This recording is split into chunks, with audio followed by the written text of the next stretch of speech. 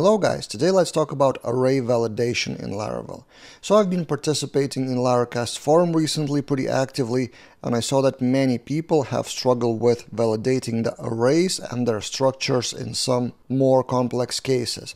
So I teamed up with my colleague Modestas to write a tutorial about that and with all those cases that tutorial grew so big that it became a course. So the newest course at the moment is about array validation with various cases and in this video I want to read to you the first few lessons so you would understand the problem and some solutions in some scenarios. If you want the full course I will link that in the description below but now let me demonstrate what you can encounter while validating arrays. So the first kind of introductory lesson to that course is a problem that I actually saw on Laracast forum is what if you want to validate the players to be existing as users, for example, in this form, but the user passes the empty array, which means no players and the validation still passes without any error. Why is that? Because if we go back to the rules, we validate asterisk of players, which means we validate the values of the players. They are required, integer, and exists. But what we don't validate, and the solution is this, we don't validate the array itself. So if you want the array not to be empty, you need to specify the array as separate line and only then validate the items of that array. And this is just a simple demonstration of one example from the forum, kind of introductory lesson about that course. Now let's take a look at a bit more complex scenario around the same form. So we have, I called it one-dimensional array, which means every array item is just user ID, and this is our requirement. At least three players must be selected, at least three items in the array, and also players must exist in the database as users. And this is a similar set of rules to the ones that I showed you just a minute ago with added this rule of minimum three. So this is how you would validate the array with rules of three players and then each player as integer, which means that this set of data would fail because number three is not an integer. Also interesting part in the form, how do you keep the checkbox checked after validation error? It's the syntax in Laravel. So there's blade directive checked, which accepts true or false. And our true or false is based on if the ID of the user is in the array of old players or as a fallback empty array. I think it's a nice syntax one-liner. And then we can use the same in the edit form and in the controller we have this data if we submit it correctly.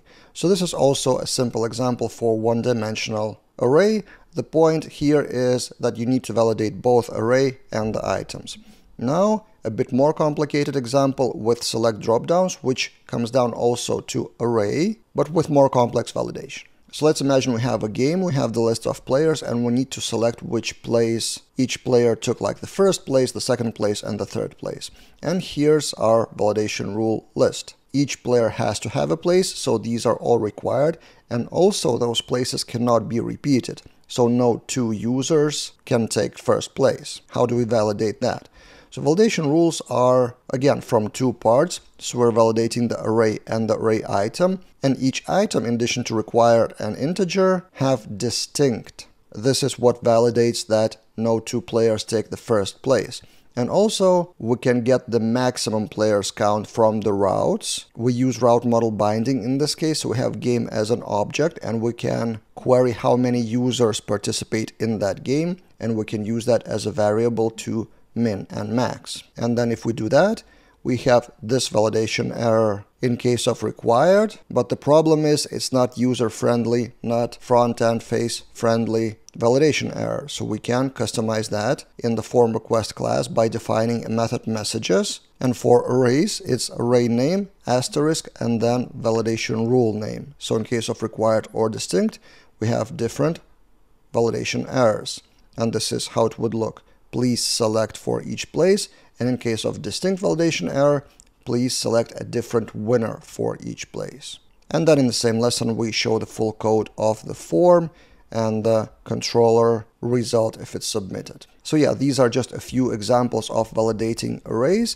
And if you want the full course, again, the link will be in the description below, which will have multidimensional array example. So each line would have more than one column, then Livewire and Vue.js examples for more dynamic forms, and a few quick tips that I found on Laracast forum. In general, array validation topic sounds really easy, but with different cases, sometimes it may be pretty hard to pick the right validation rule and combine that with all the validation messages and dynamic behavior of like adding new row or deleting a row or something like that. So our goal with this course was to kind of run through all those different cases that we found ourselves. That's it for this time and see you guys in other videos.